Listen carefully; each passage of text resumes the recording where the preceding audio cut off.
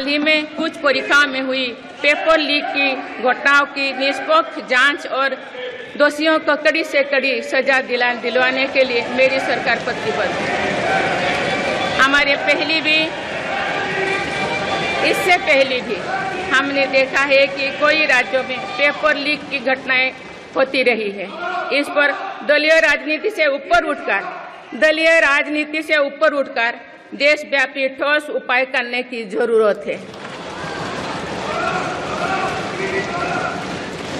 संसद ने भी परीक्षा में होने वाली गड़बड़ियों के विरुद्ध एक सख्त कानून बनाया है। मेरी सरकार परीक्षाओं से जुड़ी संस्थाओं, उनके कामकाज के तरीके, परीक्षा प्रक्रिया, सभी में बड़ी सुधार करने की दिशा में काम कर रही है।